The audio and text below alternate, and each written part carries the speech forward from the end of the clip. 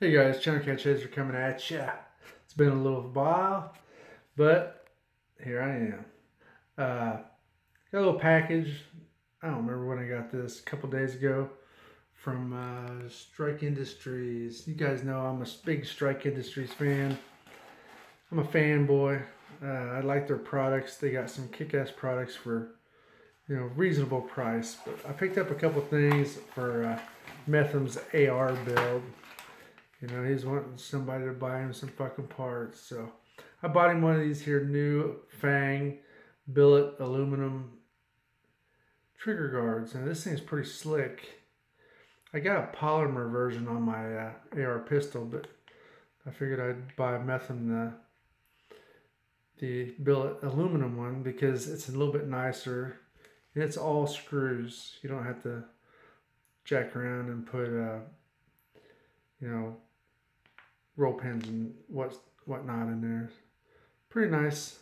Uh, you can kind of see it in there. I'm not gonna dig it out. It's just what kind of asshole I am. But yeah, pretty nice. Uh, I like it. They got another one. It's kind of got like wings on the sides of the thing where you can rest your finger. You know, trigger control, finger, you know, trigger finger control or whatnot. You know, you get my drift. But uh, yeah, I really like this product. Pretty nice. So on with the biggest disappointment there was. Now, uh, Strike Industries. I don't know if I know what I'm talking about. But I'll tell you what, you don't know a fucking thing about making a cell phone case. That's what I do know. Yeah, this is a Strike Industries Galaxy S8 cell phone case. This is the the worst piece of shit that I've ever bought in my life. It feels so fucking cheap. But yeah, it's the Trimax. 360 degrees of protection. It's fat fucking ass it is. It ain't worth a damn, guys. It's cheap feeling. It's. I've got a Pelican case I bought with my S8. Uh, I had to get an S8 because mostly outdoors, you know, he's got one. I figured I'd have to keep up with his skinny little ass. So uh, I went and got me an S8 so your videos would be better, you know, and all that shit. But yeah, don't waste your freaking money on a Strike Industries phone case because they're genetic. They they suck ball sacks. So sorry, Strike Industries.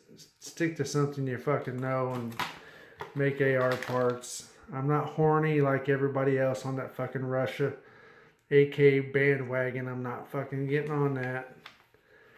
Uh, I would like to have a AK. If I bought one, it ain't gonna be no fucking Vepr or nothing like that. That's too fucking much money for my my tight ass. I'm gonna buy a WASR or something like that because the old boy that you know does all those tests on the uh, AKs. I mean that fucking WASR kept up with all those high high dollar brands. So we'll just get us a cheap old WASR, the old horny, the horny WASR, whatever, whatever AK Union said or whatever the fuck AK forty seven Union or whatever the hell. But uh, yeah, WASR baby, that's what I'd buy. But I don't plan on buying any of it. I'm planning on building a AR AK, whatever they call it, AR 47. I missed out on a fucking a good deal on a uh, 762 by 39 bolt carrier group from I think it was uh yeah primary arms like 50 bucks and I sent a picture to meth and I was like man, here that's a good deal.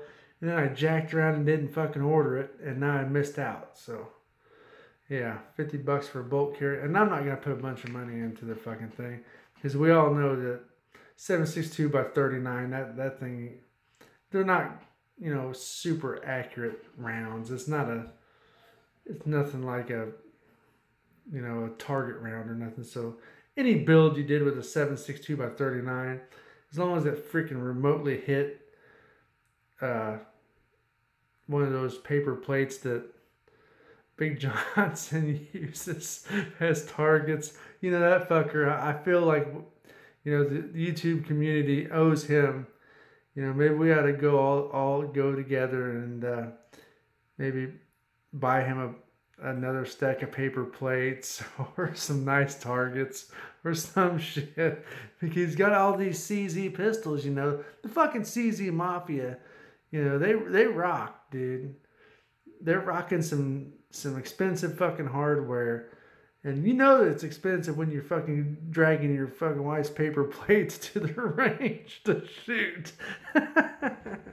but anyway, fuckers, uh, that's it for me, guys.